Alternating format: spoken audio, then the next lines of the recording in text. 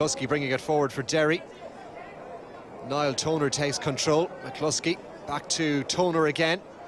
Down along that end line. Oh, that's a very difficult angle. Has he squeezed it over? Yes, he has. Niall Toner with a lovely point, almost along the end line.